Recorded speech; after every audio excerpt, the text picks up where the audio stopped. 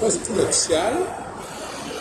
on distingue nettement au sein d'une société donnée les différences des uns et des autres. On va dire les femmes, on va dire les hommes, on va dire les juifs, on va dire les arabes. La compassion sociale, on va vouloir occulter ces différences. Disons, tout le monde est pareil. Le moment qu'on accepte en commun, quelque chose de commun, on est pareil. Alors qu'en phase équinoxiale, chacun est invité à se définir dans sa spécificité, dans son utilité propre. On ne peut pas s'étonner qu'en phase équinoxiale, il y a des situations paradoxales.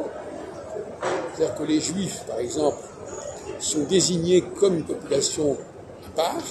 Ouais, euh, c'est vrai, par exemple, en 1900, pendant la Seconde Guerre mondiale, des lois sur les juifs, notamment avec Vichy, phase équinoxiale. C'est vrai aussi lorsque De Gaulle, euh, en 1967, parle des Juifs dans une conférence de presse comme un peuple dominateur, etc.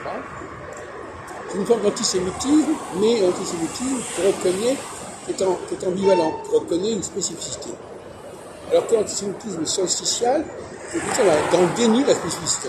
les Juifs, c'est des gens comme les autres, euh, ce sont des gens qui sont dépassés, qui n'appartiennent plus à ce soit d'intéressant.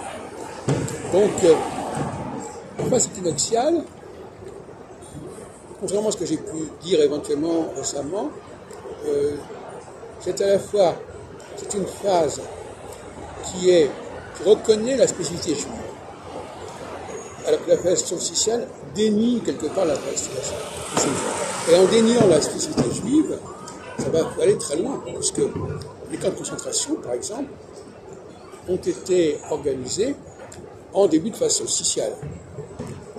C'est-à-dire qu'on dit, ben, finalement, les juifs ne euh, sont pas intéressants, on n'a pas besoin d'eux, on peut s'en passer.